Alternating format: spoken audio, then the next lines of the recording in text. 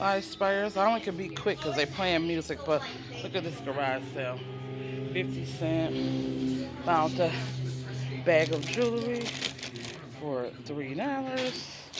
Yes, yes, yes. And all my other little piles of stuff, but this thing is huge. Stay tuned to what I found after.